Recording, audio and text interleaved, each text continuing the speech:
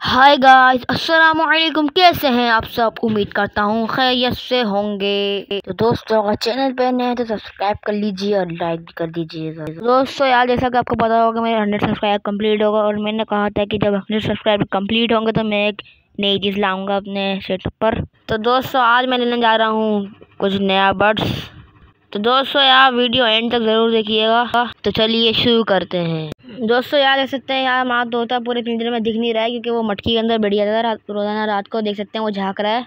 देख सकते हैं आप। ये देखें दोस्तों, यार ये पूरा बाहर आ चुका है। इसको इसको डिस्टर्ब नहीं करते हैं यार, मैं आपको मनी प्लांट का पौधा दिखाता हूँ, ये देखें। दोस्तों, यार हमारी फिंचे मटकी के अंदर जा चुकी हैं। दोस्तों, यार आप सोच रहे होंगे, जब हमारे तोते थे, वो कहाँ चले गए? चलिए दोस्तों, मैं आपको बताता हूँ। दोस्तों, यार ये है तोते।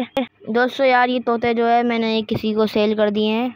और इसकी जगह मैंने कुछ नए बर्ड्स भी परचेज़ किए हैं, मैं आपको दिखाऊँगा। तो दोस्तों, क्या आप तैयार हैं देखने के लिए? दिखाता हूँ। Three two one let's go तो दोस्तों यार, ये है कबूतर जो मैंने परचेज़ किए हैं। तो दोस्तों यार, आपको कैसे लग रहे हैं यार? ये कमेंट में लाजमी बताइएगा।